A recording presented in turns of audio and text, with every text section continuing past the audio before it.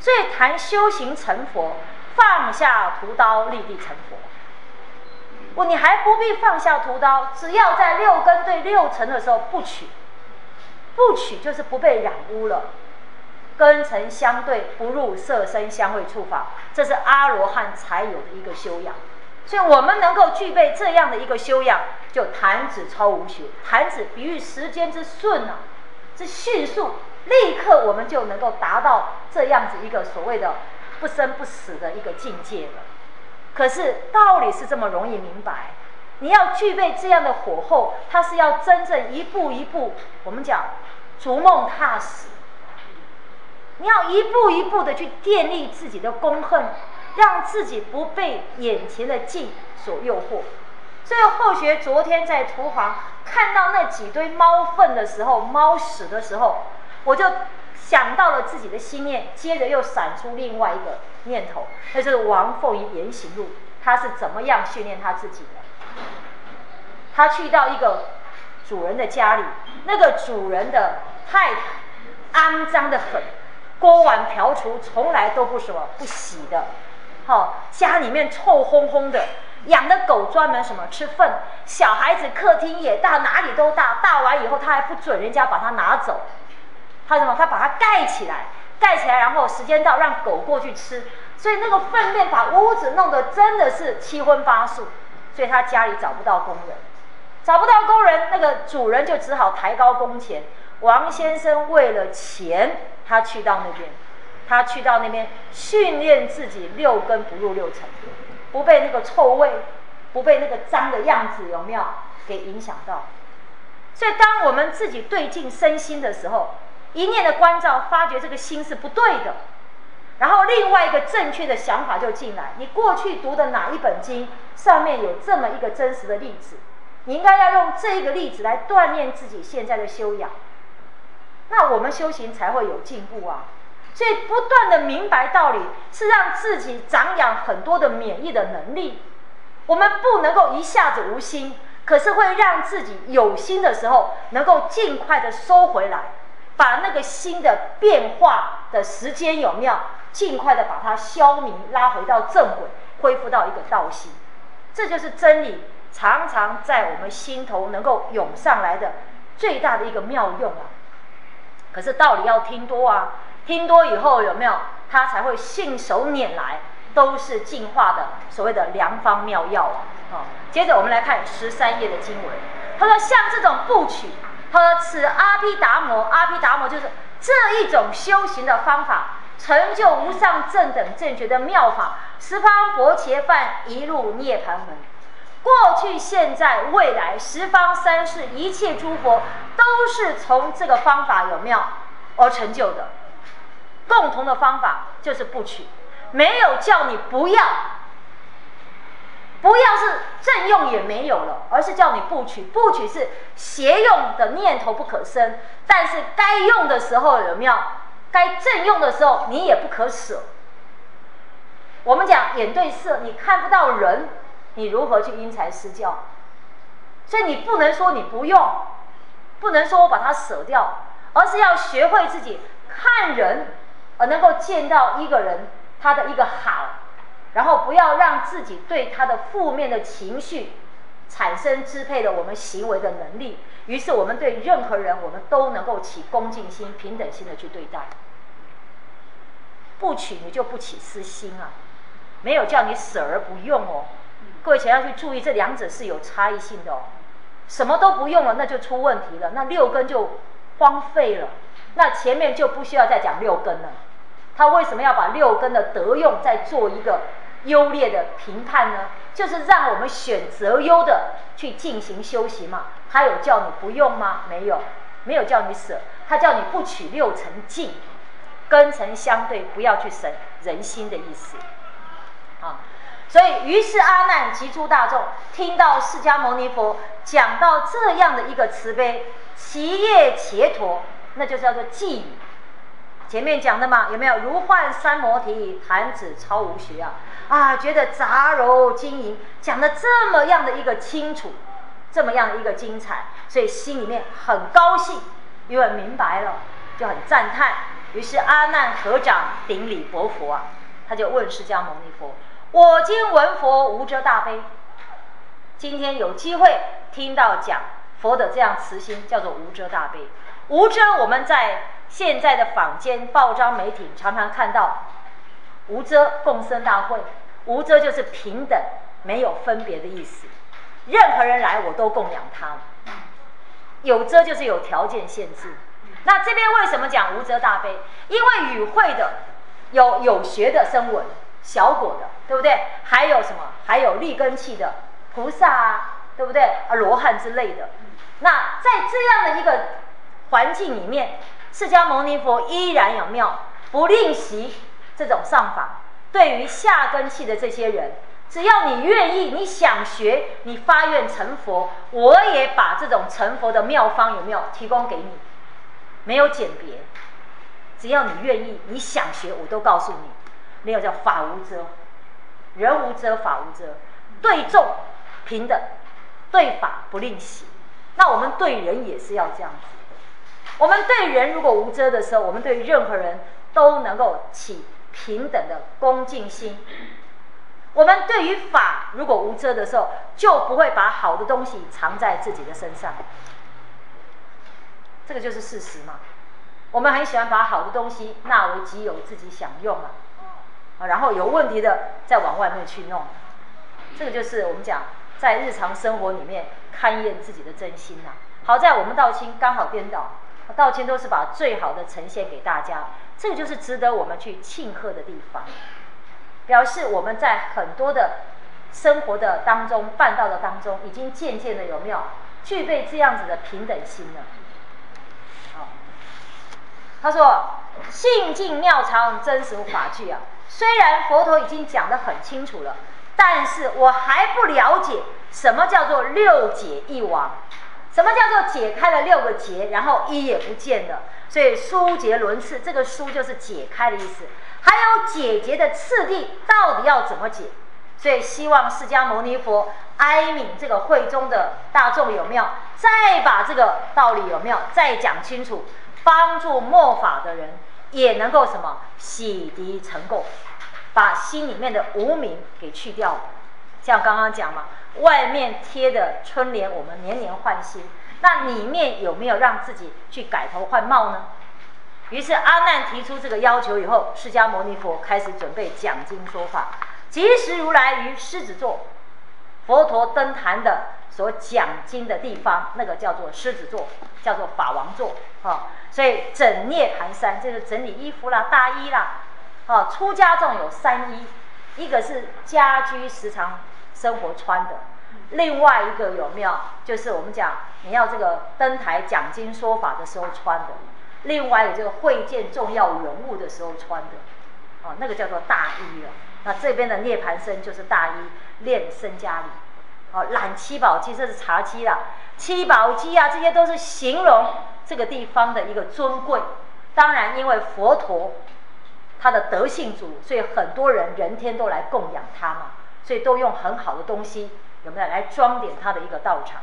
引手于机起揭波罗经罗罗天所奉华经，他就用手把这个桌子上的夜摩天的天人所供养的一个手绢，他把它拿起来。所以这个手绢是夜摩天欲界第三阶的天人所奉供养给释迦牟尼佛。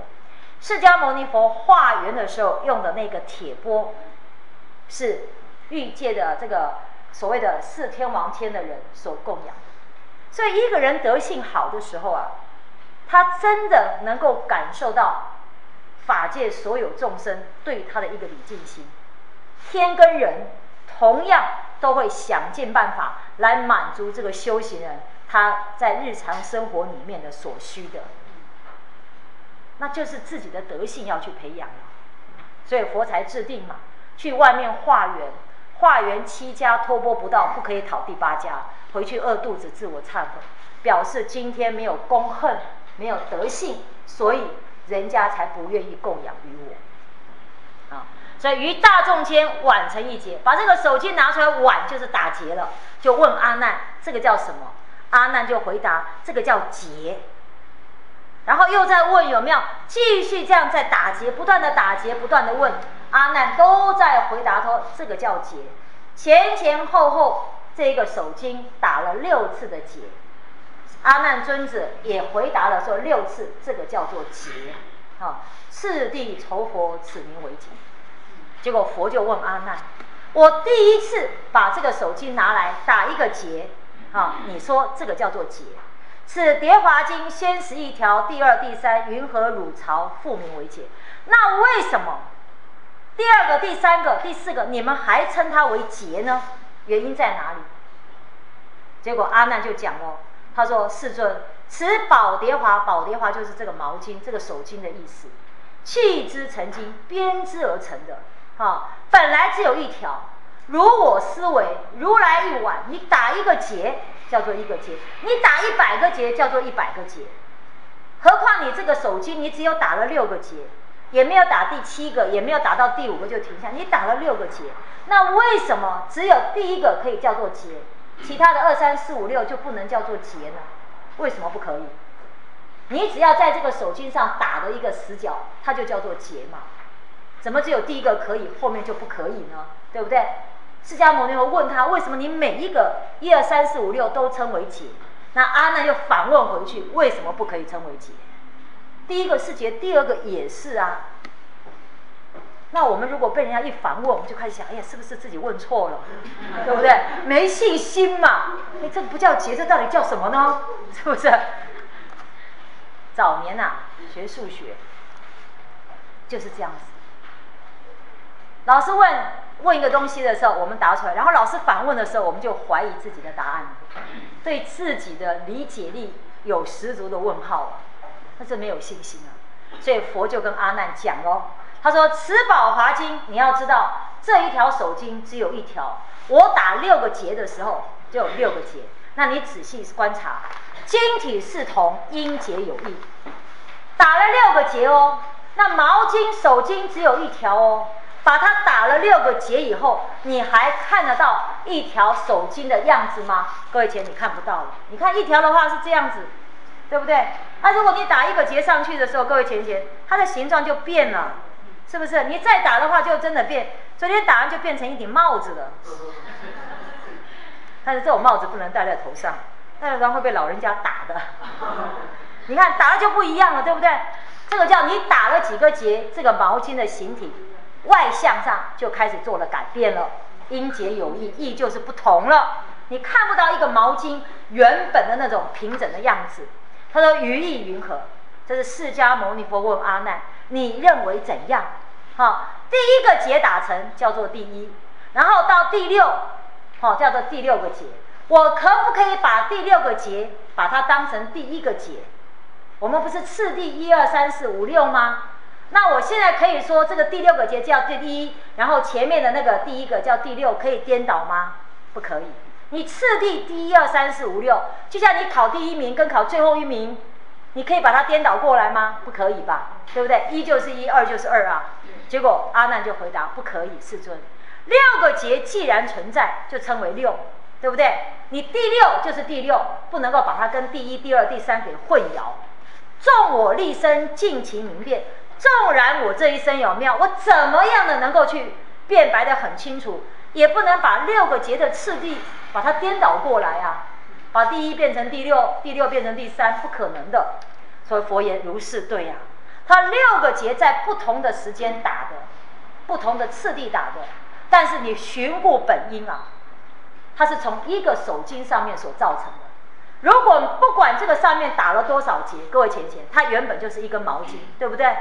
没有打以前，它是圆圆满一个毛巾。你打了再多的结，它还是什么？这一根毛巾。问题是没有把结打开以前，毛巾失掉它原来的样子。毛巾代表我们的真如佛性，里面的烦恼越多，有没有？就让这真如佛性，它就不能够展现它原来的一个外貌。你要把这上面的结给它打开以后，有没有？它就渐次的就恢复了什么？恢复了它的所谓的那个样子，慢慢完全打开，样子就完全恢复。所以人的烦恼越重，他的般若妙智慧就透不出来。所以学到为什么一直在讲，一定是越学越觉得身心轻松，因为会让我们身心觉得负担沉重的，不是我们的体重啊，是我们的烦恼。所以你学佛，既然道理明白了，在日常生活有锻炼，有去什么萃取这个这个真心出来，它怎么还会让你觉得很沉重呢？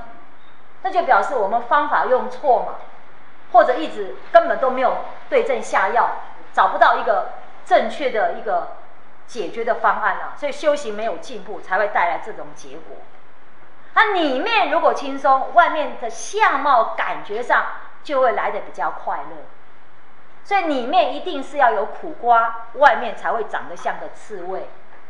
来的五尖咩，哇靠就碰出来，它一定相由心生。所以你学到后面到成菩萨成佛那个样貌你分不出来，因为人人身心同此理呀，啊理只有一个，所以他的相出来就是一样的。那眼前我们还有各个不同的样，那每一个人累劫修的就不同，越到后面将来的世界大家就越来越雷同，必须有修啊，没修有没有？那将来就不太一样了。所以学过本因易经所。所造，令得杂乱，终不得成。你不可以把一二三四五六颠倒。他说：“则汝六根亦复如是。”我们的六根也是这个样子啊。我们结的时候，一念的无名业相，然后有见分，无名不觉生三系，境界为缘长六出嘛。把这个三系六出并在一起，就形成我们的六根。而六根对外有没有，就有所谓的五蕴的烦恼痛苦。色法跟心法就是五蕴，五蕴就是万法。世间一切的万法都由最初的一念无名所起的，你看糟不糟糕？所以不去胜心念与引为，你学到要从哪里去去用功夫？没有功夫可以用，一定从心念开始去着手。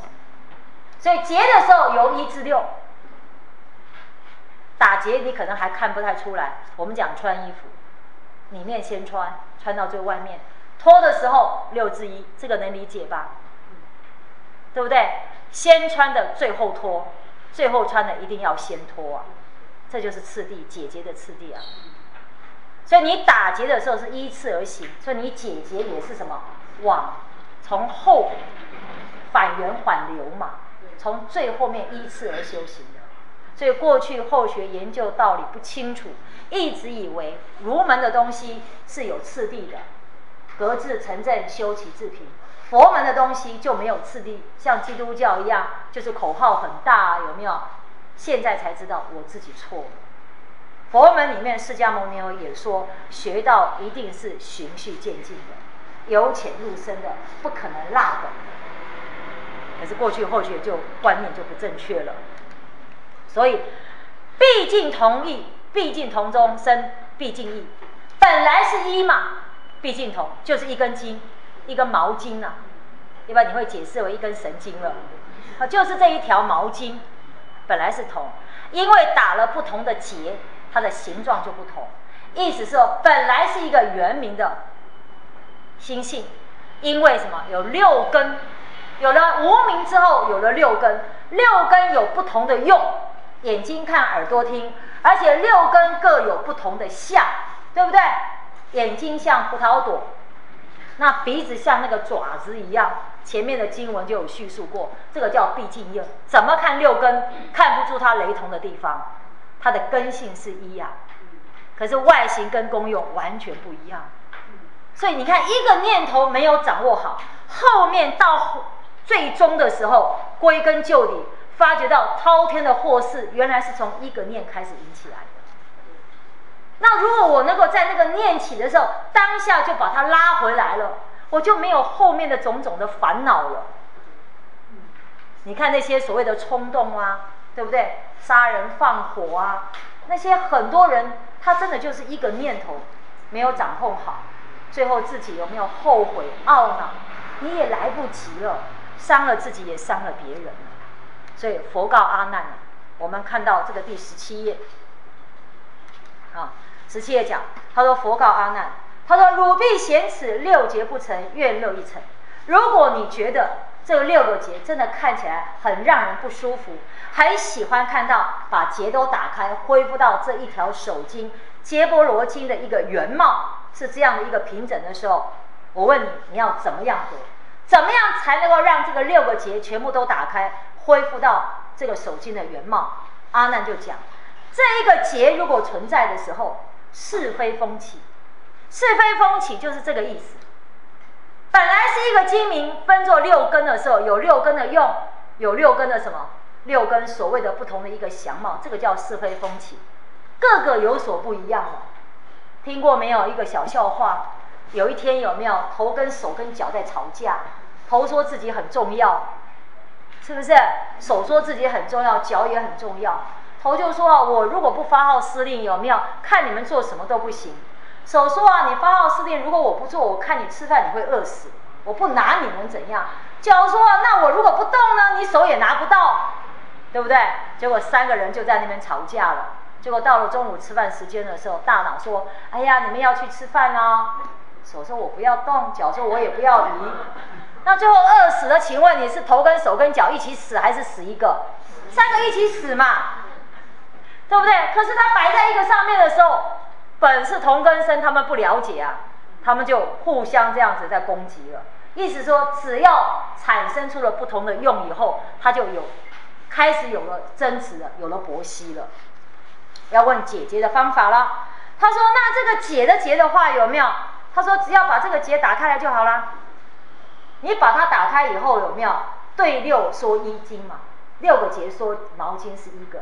那如果打开呢，那个一个毛巾的一字也不需要讲了。”都不需要立了，那就佛讲六解一亡亦复如是啊。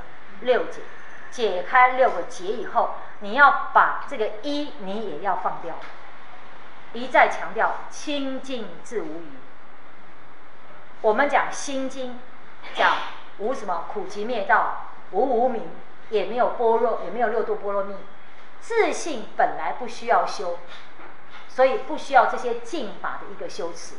可是我们受到污染以后，要依着圣人的教化来起修，在学的过程里面有法，但是学成以后，这个法你要把它放下来，那个才是真正能够成就。所以法上应舍啊。佛陀讲的道理，当我们用这个工具达到目的地以后，你要把工具放下来，不可以执着在这个工具的上面。前前面如果用五字真言用习惯，你就知道，五字真言在用到一个时间之后，它是在习望的，它的功能就在降服我们的妄念。当我们用的很习惯，那么很自然，你不起妄念的时候，它就不会起作用。你如果起了妄念，它就立刻在里面就产生什么进化的作用，它会先我们一步察觉。它就开始先运转。古人有一句话叫“春江水暖鸭先知”，因为鸭的两个脚泡在水里面，我们站在岸边看不到，所以你能够启动五字真言，养成惯性，它会让我们很多的未生恶令不生的。可是还是老话一句，那个要时间去累积的。你只要天天不间断的练。大概精进的话，半年三个月就会有功夫出来。可是不能够曝晒，曝晒就是进两步退两步，你就感觉不出了这种效果出来。那个效果真的很好。所以那个时候你还要刻意念一个五字真言嘛？啊，一二三四五，五四三二一嘛？不用。那叫做念而无念。念而无念的时候，就自然而然守而无守。因为就是。你有念就是妄，有念即是妄，无念即是真，对不对？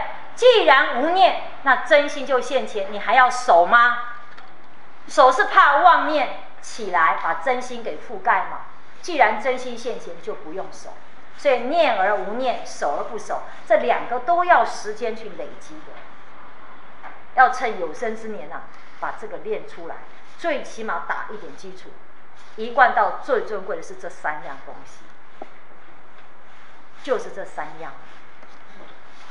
啊，所以这三样你把它弃而不用，非常可惜。参班是什么？参班是让各位前贤讲，怎么样去善用这三样。你没有这三样东西摆在那边，经讲的再多，各位前，你还是不知道要如何去启用。经典是印证那三样东西的，不一样。你说那我不可以五字真言念别的吗？可以啊，效果没那么好。佛在经书里面解得很清楚，后面我们会提到。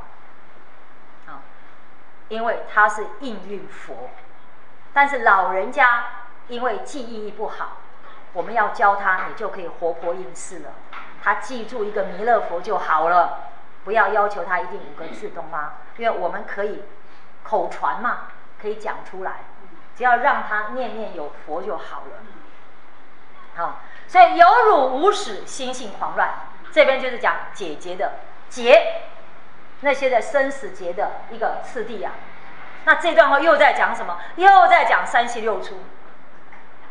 所以你绕来绕去，其实你说佛经很难懂吗？也没有吧。我想过两天在座每一个人都能讲三系六出了，哇摘了，还了解六道轮回的原因呐。是不？你拢也要讲啊，因为卡卡西西，大般若经里面谈的次第就是如此。第一个心性狂乱，这边是以这一四个字代表什么？无名业相，一念不觉心动，然后转大圆净智为阿赖耶，有了见分，然后有了境界分，这三者的变化都在阿赖耶里面，并不是外面有实际的一个相让我们看，这个叫做三细相。这个叫心性狂乱，从这个地方开始乱，后面就有没有？现象界，我们就无从辨别是非，我们就无所适从了，就有了志向，那个执着越来越什么？越强，然后有没有？这个执着念念相续不断，我们讲由尘发知啊，因为这个沉静外面的尘带来的这种了别，这个了别又加强了我们对于这个外境的一个执着。这种相续的念头念念不断，最后有没有？我们讲就有了劳见，劳见就是错误的一个知见，劳就是烦恼有污染的，都叫做劳。这种错误的知见有没有？就引发我们对外面的环境变化的时候，你有了直取向，我要得到，或者仅仅是听到名字，心都心动不已了。我们举一个很简单。我们在讲到跟酸梅有关系的东西，一提到有没有，嘴巴就冒酸水，吃到了吗？我连看都没看到，我现在嘴巴就在冒酸水。这个就是因为一个名指向所带给我们根深蒂固的观念有没有？想到梅子，看到梅子就代表酸，所以它就会触动我们的联想力所带来的一个结果。于是嘛，劳见发成。对于外境有没有就引发我们对他的那种执着啊，那种追求啊，啊，记名指向持取啊，你要拿，然后接着就会造业起业相，我们的五根就往外去做，拿啊、看啊、摸啊、碰啊，就是这样子，这就是整个一个轮回，从最初的这样子，最初的一念开始啊。好，接着我们再看十八页的经文里面有记载。他说：“如劳木金，则有狂华。就像我们如果那个眼睛一直瞪着虚空观、虚空看，他会什么疲劳？那个疲劳的眼睛有没有瞪着虚空看？过了一段时间，他会无中生有，创出一些的东西来。这个我们在现实生活，现在你马上就可以去去去试验一下，有没有？你一个东西一直盯着看，看看看久了有没有？你会发觉好像产生幻影了。”这个叫做什么？如劳木金，则有狂华。于战金明，无因乱起。战金明，在这个圆明的真如，在这个一个洁白的手绢之上，有没有就开始打结了？无缘无故的就开始有了这么多烦恼结就出生了。所以一切世间，山河大地，气世间，生死涅槃，我们人生根生，对不对？我们讲色因有两种，一个是依报世界。一个是我们的根生，友情根生，所以哈五蕴就是六劫，六劫就代表什么万法的意思。以六根接触宇这个宇宙的一切万有色法跟心法，也可以表万法。所以生死涅槃皆其狂劳，就真如自信而言，因为我们有无名起，所以才有六道轮回。对应轮回的众生，我们说涅盘之乐。所以涅槃也是一个虚立的一个名相在那边而已。这个叫做生死涅盘阶级狂劳，这个都是意识的一个幻象而已，颠倒滑象啊。真如自信里面本来没有的东西，后来被创造出来了，这个叫做颠倒。所以阿难言：“此劳同结，云何解除？”那这个无名所形成的这么多的结，我要如何去解掉？于是释迦牟尼佛又把他的毛巾又拿出来了，当然上面卷了六个结了哈，卷了六个结之后有没有？他就这样拉一拉，左边拉一拉，就问阿难：“这样解开了吗？”这想也知道，这样能解开吗？然后他又右手拉一拉，这样解开了吗？阿难说：“当然解不开了。”那佛陀就这样讲：“那这样子两手拉一拉呢？左拉右拉都解不开，我两手一起拉呢？”阿难说：“更解不开，越拉越紧啊，对不对？是不是越拉越紧？都解不开了。”那释迦牟尼就问，就问阿难了。他说：“那这样都解不开，请问你要怎么去解开呢？”阿难说：“老师啊，我给你讲。”你得用手对中的拍开，安尼就无代志啊啦，安尼就拍开啊，显现他很聪明啊，一边就解开了。那为什么要左拉拉右拉拉呢？他的意思是告诉我们，我们人在没有学到以前，我们都执着于现象界的有，凡夫只有才有六道轮回，对不对？贪爱人世间的所有的一些的虚花假景，虚花假景不外乎。财色名食睡，就这五样而已，没有其他的东西。所以凡夫着有就有六道轮回，变化出来不同的一个形体。你贪的越厉害，就在三恶道在化身道；贪的越少，就是什么？就是在所谓的不色界啊，或者是这个欲界的天界那个地方。那好不容易去起修呢？一开始起修，又会很容易落到一种小圣的修持，或者外道的修持，偏空了。前面有提到吗？直性废修，不办了，修自己就好了。参禅打坐有没有？这些都叫做偏移端，成空守极的意思。凡夫只有有六道轮回，有分段生死。二圣小圣的人直空，他也有什么？有变异生死。都没有达到究竟无余涅槃。佛讲的是大圣经，讲的是唯一佛圣，所以凡不符合于唯一佛圣的修持，那个都叫做不可取的焦芽败种。所以小圣也在佛的呵斥的范围之内，所以他才告诉你，你不可以偏有，也不可以偏空的，空有两边都不住。那以我们现在来讲，有的东西你都要放吗？哎，坦白讲，没有这个身体。你要进这个佛堂，要看有没有领命呢。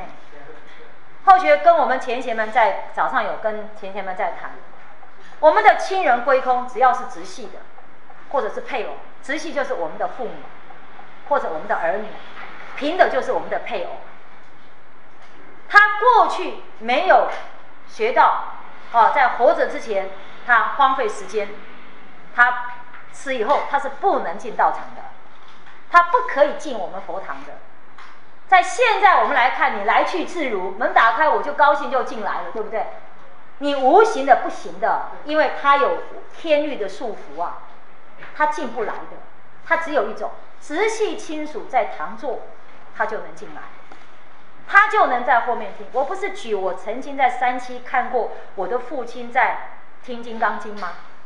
八十八年后学在复原佛堂。第一次学讲《金刚经》，那一次后学的父亲刚好遇到三七十二月，我父亲就到现场，我不在，他就不能来。这个就是我们讲你要去行孝的一个目的啊。父亲父母亲走了，过去我们没有因缘成就他，或者他的时空背景不能修道，够巴豆的为我帮他修，或者他的佛缘浅。那现在他走掉了，他仰仗的就是活的人。你活的人在家里睡，你就在家里睡死好了。他跟着你一起死掉了，他根本不能来。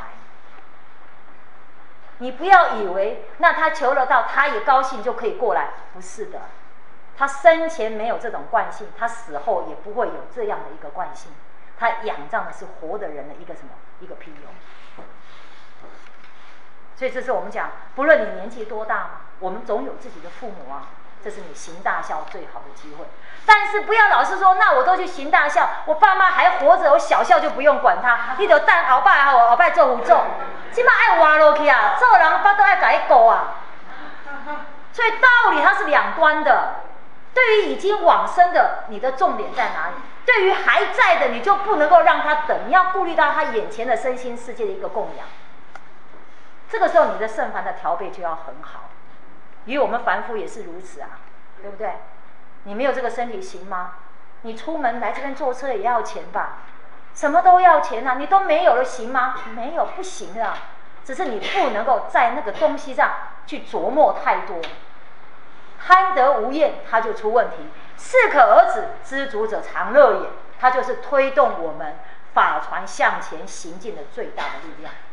所以空跟有当中是要自己去做拿捏的，也不能够有没有一概而论的。有人要花五十块呀，有人五块就好。有人家里面有三口子，有没有？你给他五块钱，他连两块都分不到。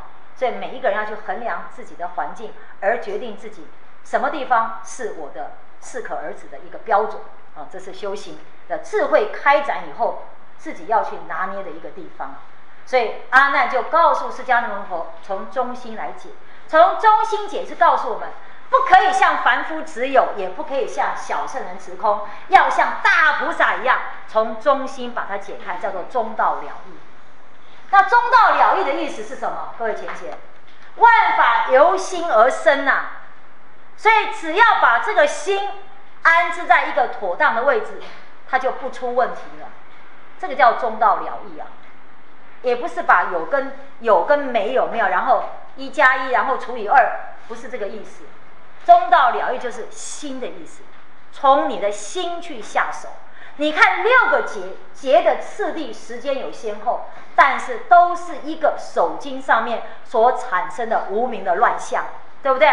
所以你只要把这个心结先给它打开了，这六个结就迎刃而光了。不论眼也好，耳也好，各位前贤，六精明一合合，是一个真如自信在后面做支撑的。所以只要真如自信污染的越少，你六根散发出的六六用有没有？它就会局限在正用，而不会有邪用。所以你要对心下手。所以修道不要修一个眼，修一个耳朵，修一个鼻子，修一个嘴巴，不要修这样子。修心，修嘴巴就哎，我看到人说好话，口好话，心不好有什么用？逆愿而有其人，那叫巧言令色，嫌疑人。这种人社会上很多啊，对不对？然后修个耳朵，哎呀，人家骂我，我不要起嗔恨心，我不要起嗔恨心，有没有？嘴巴我不骂，但是心里面愤愤不平啊！我拎来，我拎来。我不起嗔恨，我未使混你，我还拎来，等到有一天有没有，忍不住就爆发了。所以你从六根上去琢磨，那是在外向上功夫是有限的。那六根的主人心没有污染，六根就能够正用。所以从心去下手，一根如果解决了，请问你其他都没问题了，是不是？这个叫做中道了义啊。好，接着我们进入到呃二十页来看。所以佛就认可阿难尊者讲的话啊，没错啊，就是要从什么，从心去下手，从结的中间去把它打开啊，啊，所以阿难，我说佛法从因缘生。接着释迦牟尼又在解释，解释什么？佛讲的佛法跟世间所谓的外道讲的因缘法，它的差异在哪里？在前面的卷一到卷四里面，阿难尊者不断的问释迦牟尼佛。这一颗心到底是因缘还是自然？如果你说它是因缘，那跟外道的因缘有什么不一样？如果你说它是自然，那跟外道也有人讲是自然，又有什么不一样？差异性在哪里？阿难曾经反反复复问过释迦牟尼佛这个问题嘛，在这个地方，释迦牟尼佛就说出来，又再讲一遍。他说啊，我所讲的因缘法，跟世间所讲的藏因托缘的因缘法是不一样的。我们讲这间屋子四大假合而成，对不对？我们讲这个身体是父精母血合合而成，这个叫做初因缘。那佛陀他讲的是根本的，根本是什么？他告诉你，一切的万象从哪里生出来的？心。你看一切因果世界围城，大到像世界一样，小到像一个围城的这么一个依报世界，都是因为这个心而得以存在。成体就是它得以存在的。所以妄心去掉，无名就没有依附的地方了。道心现前的时候，人心就灰飞烟散了。如何让道心有助？就是不断参班要去增长的一个能力嘛。我们时进时退，退的时候又进入到班级了，退的时候又又开始听经闻法了，于是这个火候就越来越强。那佛陀讲的这个一切因果因心成体，请问你心是因缘吗？不是因缘，心是自然，但是这个自然它可以随境有没有？它而起不同的变化，那个叫做因缘。所以跟一般所讲的外道的出因缘，那是截然不一样。差异性就在这个地方，这个因缘是告诉你，一切有为法也是从你这一颗心变现出来，万法从心生啦。那外道只是看到这个东西是因缘和合，却不知道它从哪里生出来的。外道只知道自己是人，动物是动物，他不知道人跟动物六道之间是互相轮替的。他以为人永远为人，所以人做人的时候可以予取予求啊。为什么？反正不论做好做坏，下一辈子还是要做人。他是这种错误的观念，所以他只看到表象。佛陀也知道一切的因缘都是从这个无为法而出嘛，都是从这个真如自信变现出来的一个幻象，就把根本给讲出来了。所以他讲如是乃至恒沙界外一滴之雨啊，佛的智慧之高啊，不是只有看到这个阎浮提而已啊。这个地球之外的其他的围城世界，无量无边的世界，一滴雨水从哪里飘过来，会降到哪一个土地上面，流到哪一个地下水沟，然后透过集水道又流入大海，然后再蒸发到天上，然后再落下来。佛无所不知的，我们简直是难以想象的。把那个自来水管的图有没有？从外面大马路接到我家来，我都搞不清楚。在我家室内有没有厨房跟洗手间之间的水管的接的管线，我也不清楚。你何况这么大自然界的呢？可是佛无所不知。所以你看，我们只要灭无明哦，这一种知的能力，它就自自然然出来的。它不需要往外去走，不窥幽见天道嘛，不出门治天下。因为你修自己，还跟你出不出门有关系吗？没关系啊。所以现前种种松直崎岖，松树为什么是直的？荆棘为什么是弯弯曲曲的？然后呢，鸟为什么是白的？乌鸦为什么是黑的？为什么会形成这个原因？他都清楚，他都知道。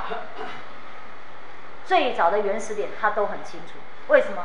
因为他已经见自己的性嘛。那世间宇宙万有一切都是由这颗心变现出来，所以一切万有的来龙去脉，它无不了然于心。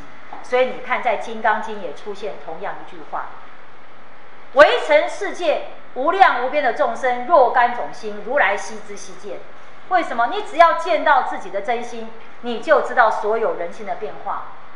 那是你要在成佛之前修菩萨这一关开道种子，必须要了解人心的变化，你才能对症下药。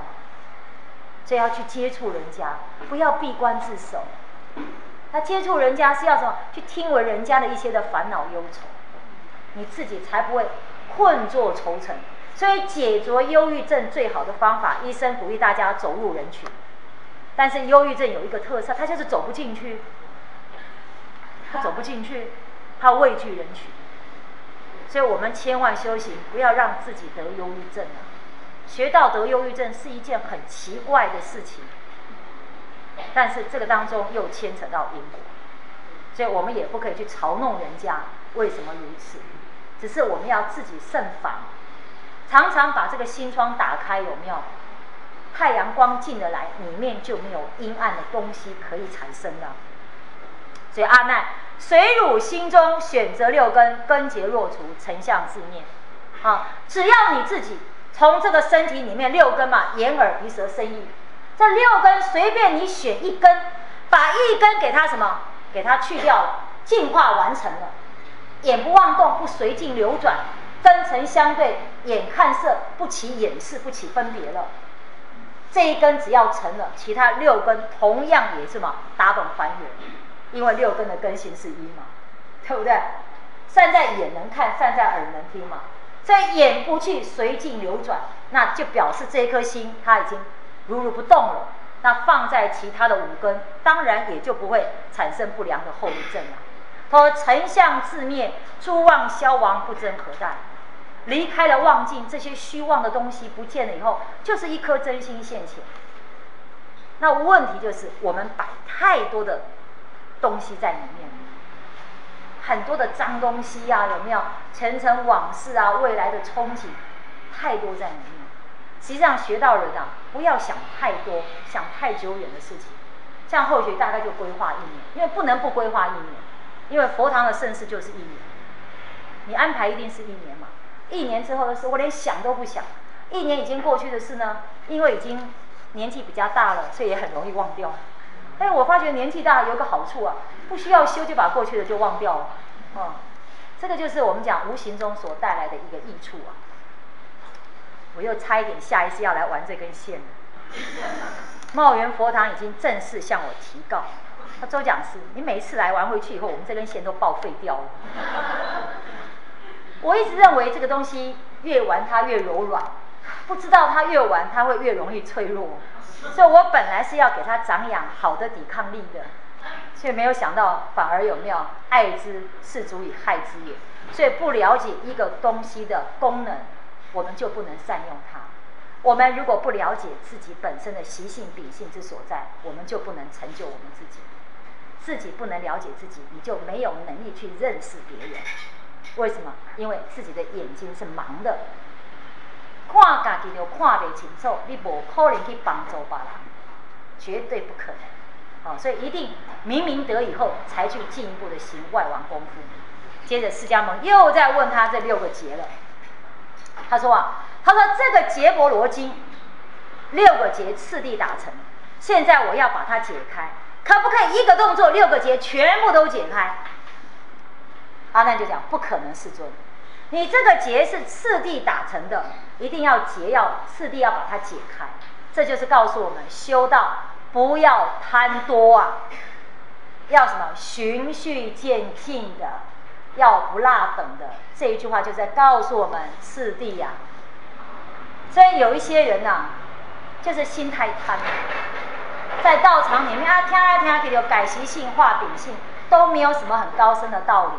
所以去听一些高深的道理，一听有没有自己都跑到五里云雾中，不知道往哪去飘了。我说道场讲六个字，习性秉性，要我们改，要我们化。这六个字修三十年、修五十年都改不掉，你还想要更上一层楼？你不是把自己都推到一个危险的环境吗？所以人不要好高骛远，从自己最初的地方开始去破，破自己的那个无名就好。财色名食睡五个大科目，哪一个东西染着的越深，就从这个地方去破就可以。那大家的功课不一样，但是同样的敌人就是自己。为什么习惯了？哪被盖紧架呢？你敢不敢呐？我们什么都愿意放，执着不愿意放，什么都愿意舍，有没有？脾气就是舍不掉，这就是我们很大的问题啊。所以修起来都会很辛苦的啦，没关系啦，共同努力啦。佛陀也是曾经这么辛苦的走过来，他就很轻松的告诉我们了。所以六个结是同一个手筋打出来的，可是结打的时候的时间不一样。你要结的时候，怎么可能一下就解掉？一定是次第。所以一般人讲，他为什么不视现神通呢？你那打行代志要讲有神通有没有？黑的不会唐后供。所以佛在日常生活里面，他视现的跟我们一样。他穿衣服扣扣子也要一个一个来，也不是披上来所有的扣子就扣好了，没有这种事情，一个一个来，一个一个结，一个一个解，同样的意思。所以佛言六根解除亦复如是，六根的习染不一样，次第先后无比的熏习不一样，所以你要去解，解的次第第一个破人我空，这就是我们在讲师高级班里面谈到。修行要破二执，人我执跟法我执。次第为什么一定你要讲的好的人，一定要先把人我执给解出来？那人我执又分两个层次，内跟外。第一个从外开始讲，身无我，四大假合之躯，所以不要人家碰一下我们就信眼圆真，对不对？也要给人家碰回去。好，这叫做身无我。然后透过身无我再看看自己的起心动念，念念相续，前念后念都不一样的。所以那个什么念也无我，不常住的。不常住，你不要把那个短暂的意识的信念当做实有，那就是你的固执的由来。我被安装也被安装，要随我活泼应试啊，随着时空的环境要加以适合的一个调整。尤其不好的东西没有调整的一空间，就是把它去掉。好的东西要调整，不好的东西只有死了。所以这个是人空，这个人空就是人我空。人我空里面有什么？身无我，还有心无我这两个层次。然后这个破以后呢，还不够。心性没有原名，空性就是我们的大圆镜智，我们的真如本性，它还没有原名，因为还有一个具身的法我执没有破，尘沙无名没有灭，道种智没有开出来，所以它还不叫做原名。一直到法我执也破了以后，我们看。空性原名成法解脱，法我执也破了，这边就破法我执，解脱法已具空不生。但人我法我都破了，破了以后，连破的心你也不存在了，究竟无余涅槃。就像《金刚经》嘛，破人我执，破法我执，还有究竟圆满。那那个妄心有没有？我达到究竟圆满的那个究竟圆满的心，你都要把它扫掉。那才是有没有真正的无余涅槃？这边就谈到这两种，谈到这两种，顺便跟各位前面补充一下，我们谈到人无我，法无我，谈到诸法无我，常常在佛法上用到这一个我字，用到这个我字的意思，跟你我他的我不一样，它要含有三个意思，第一个常住不变。它是亘古长存，不因为时间，不因为空间，它会改变的，它才能够称为我。第二个，它能够独立自存，不用藏阴托缘。这个色身没有父精母血，孤阴不长，独阳不生嘛，是不是？缺一都不可，那灵性就可以独立长存。还有，它有自主，还有支配能力的，我可以决定要怎样的。这个色身可以决定吗？不可以。我们乱不想生病的，可是有没有流感来了，大家又跟着赶流行了，真的很不想老。可是岁月催人老，白发一天天的出来了。我很想自己花容月貌，但是从小到大就没有漂亮过。